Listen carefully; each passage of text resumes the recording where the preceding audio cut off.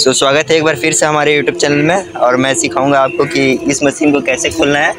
First step क्या है? जैसा कि आप देख सकते हैं आउटडोर हमारा स्टार्ट हो चुका है और यहाँ बहुत बढ़िया तरीके से कूलिंग कर रहा है। दोनों पाइप चिल हो गया है। तो सबसे पहला पॉइंट हमारा क्या है? यहाँ पर गैस ब्लॉक करना। तो शुरू करते हैं वीडियो को। देखिएगा इस सबसे पहले इस वाले ढक्कन को हमें सलाइरिन से खोल लेना है। सिंपली गाइज़ मैंने पतले वाले को खोल लिया है। और इस प्रकार हम एल के सहायता से इसको लॉक कर देंगे।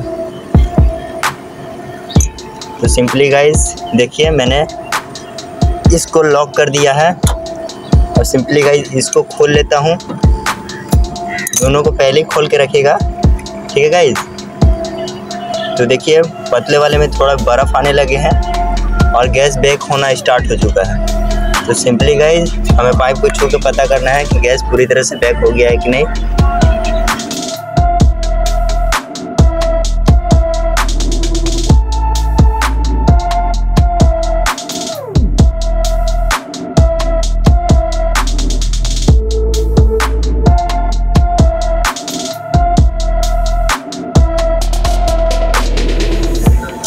हाँ कॉल कर अभी मत बोल रुक बोल। रहे तो सिंपली गाइज़ मोटा वाले को हम बंद करके तुरंत एसी को बंद कर देंगे।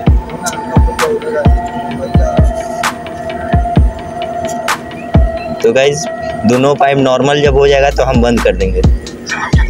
हाँ हेलो हेलो बोल रहा था बंद कर दीजिएगा। हाँ। देखिए।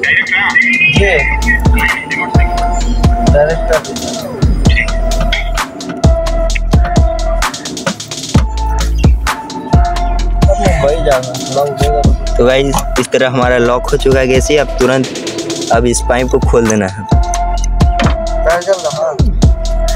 बहुत ज़्यादा यहाँ पक्का गर्म है गाइज़ सामने गंगा नदी है, देख सकते हैं आप लोग। और यहाँ हम लोग गैस लॉक कर चुके हैं। तो सिंपली गाइज़ आप देख सकते हैं, गैस पूरी तरह से लॉक हो चुका है। और यहाँ का पक्का आप देख सकते हैं, बहुत ज़्यादा। ना खोले ना अब सिंपली गाइज़ मोटे वाले को भी खोल लेंगे। मोटा सक्शन पाइप जिसे हम कहते हैं। डिस्चार्ज का बोलते हैं। सिंपली गाइज़ अब कनेक्शन बॉक्स खोल लेंगे और इसका कनेक्शन हम निकाल लेंगे तो सिंपली गाइज़ हम अब कनेक्शन बॉक्स को खोल लेंगे और इसके बाद देखिए आप पाइप को खोल लिया है मैंने। तो सिंपली इसको खोलने के बाद हम आउटडोर को पैक कर देंगे। ये हमारा कॉपर पाइप इंडोर भी मैंने खोल दिया है। सामने में गंगा नदी का नज़ारा आप भी देख लीजिए। ये गंगा नदी है बहुत बड़ा सामने में कैंट है। अ, ये आर्मी कैंट सो गाइस ये है गंगा नदी यहाँ का। तो गाइस गंगा नदी देखते हैं बाद में और चलते हैं अब इंडोर को खोल दिया मैंने। इंडोर को मैं दिखाता हूँ आपको और इसका पैकिंग भी मैं दिखाऊँगा। तो चलिए गाइस इंडोर को दिखाता हूँ मैं। तो यहाँ हमारा आउटडोर पैकिंग हो रहा है।